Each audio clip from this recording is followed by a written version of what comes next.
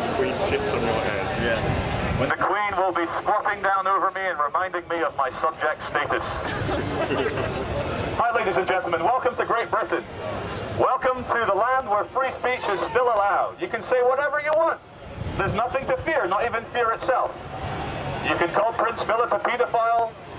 You can call the Queen a woman who lives with a pedophile. But hey, it's free speech. Who cares? Keep reading your mainstream media newspapers. Keep watching Sky News. Keep watching BBC News. These are the arbiters of your true information. And ladies and gentlemen, in three weeks' time, well, 10 days' time, two weeks' time, don't forget to vote. It's very important that you vote so that you can maintain yourself in the big illusion of democracy. Do you not think for one second that power, money and control are far too important to leave it to the plebs? Well, they are. Which is why the Conservative Party, the Labour Party, Lib Dems, Nick Clegg, the new Osama, the, sorry, Osama the new uh, Obama, Nick Clegg, these people are fully in the pockets of the big institutions, the international financiers, what Carroll Quigley called the permanent government. So ladies and gentlemen, you might as well vote for the BNP because whoever you vote for, the government always stays in power. Do you really think that Nick Clegg or David Cameron or Gordon Brown are going to withdraw troops from Iraq or Afghanistan? Do you really think any of these puppets are going to do anything about the massive surveillance state we're living in? The police fascist state we're starting to enter now, with civil liberties being destroyed, CCTV cameras going everywhere, the police arresting 14-year-old boys in Camden. Look it up. I'm not just ranting. Look it up. The police arresting as many people as possible to get them onto the DNA database. But remember, ladies and gentlemen, you are the peasants if you have nothing to fear. Sorry, if you have nothing to hide, you have nothing to fear. So please report quickly to your nearest Metropolitan Police Station where they will take a cotton bud, stick it in your inner cheek, and add you to the DNA database. DNA is the mathematics behind your soul, so who better to trust it with than the government? Because the government has your best interests, always. The government is killing and killing lots and lots of nice little children. But don't worry, they're brown children. It's okay. They're Iraqi and Afghani. They're not white. We have a luxurious world to uphold. We have a nice corporate control grid to maintain. And the best way to do that, using the military-industrial complex, is to build bombs. Bombs are the best thing in capitalism because every time you drop a bomb, you have to build another one because you can't quite reuse it. And another great thing about bombs, when you bomb a city like Kabul or Baghdad, then you can get American and British and Israeli contractors in there. Woo! Yeah! yeah! As we all know, American foreign policy is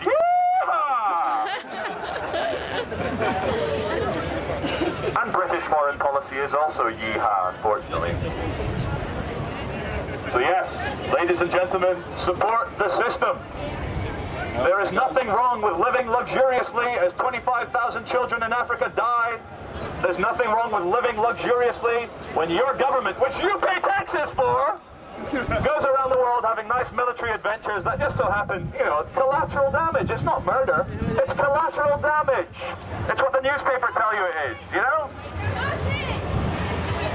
The only way to stop terrorists doing naughty things in London is obviously to bomb their families in Iraq and Afghanistan, obviously. And also, ladies and gentlemen, my friend Deek the FKN News, I can't say the full name, but you know Deek? Yeah, Deek is awesome. Deek has figured it all out. The reason we are in Afghanistan and Iraq is because the only two countries where terrorism can be organized are obviously Iraq and Afghanistan. That's why we must bomb them. To everyone walking past, I am being ironic, I hope you realize.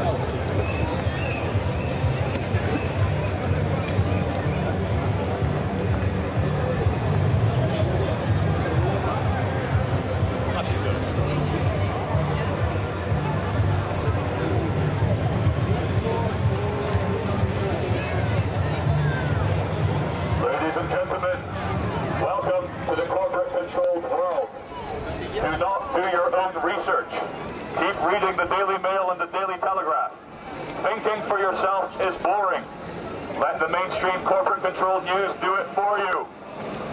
Ladies and gentlemen, do not listen to us. This is the first meeting of the crazyconspiracytheorist.com.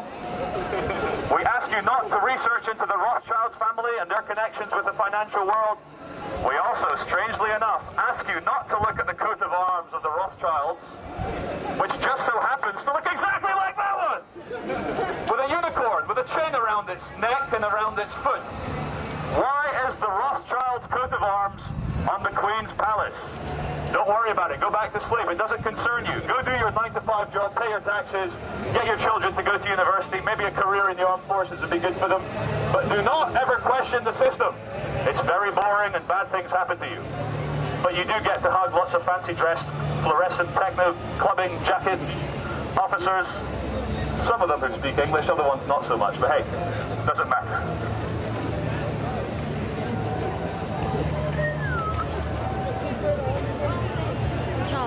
Thinking. Do not research the Freemasonic control of certain financial institutions. Do not research the Freemasons' influence on the police. Certainly do not influence the massive Masonic lodge set up entirely for the police. And do not question why your police, which are meant to represent you, have the wonderful black and white checkerboard of the Masonic lodge floor around their skull, around their consciousness. Do not think about these things. Instead, pick up some leaflets from these ladies dressed as sumo wrestlers. Ladies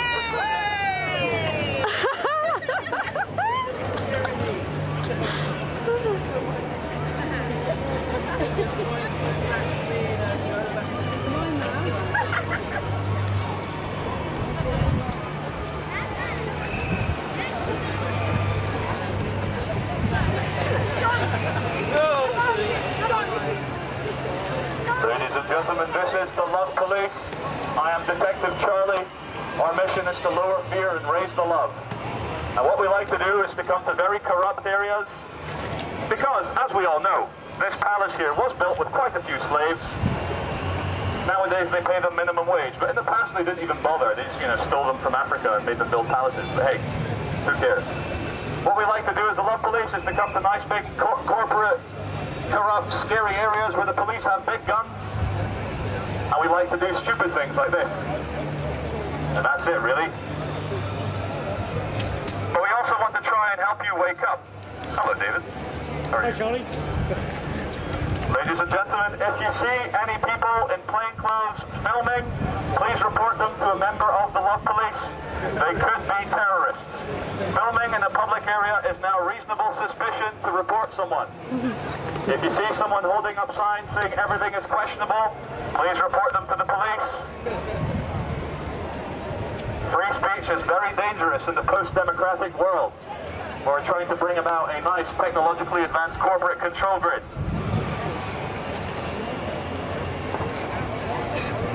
Dangerous.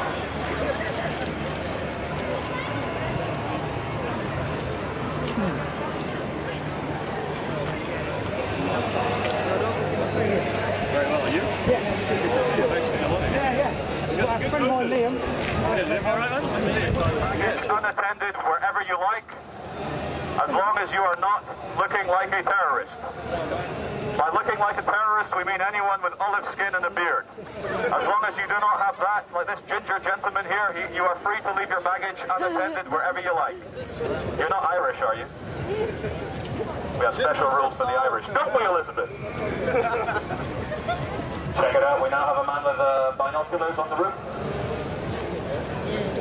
Oh. No, we don't. Well, they are filming from up there, so it could just simply be TV crew. Liam, I'm going to whip up there and get some sort of down shots of the ground. Yeah, Of about. it's scary, yeah. I haven't seen them yet. Ladies and gentlemen, we are trying to change the world, and the best way to change the world is to do nothing. Carry on with your 9 to 5 jobs, carry on paying taxes, carry on letting your children watch MTV at any hour of the day, carry on sexualizing yourselves. Actually, I like that one, but anyway. carry on doing nothing. Big important matters like warfare and killing children do not concern you. Your job, as your teacher told you, as your careers advisor told you, was to get a good job, make your way up the corporate hierarchy, wait for that promotion. If you have to work eight hours a day, it's important you put 10 hours a day into that glass and metal cage because otherwise you will not get that promotion. Give your mind over to the corporations.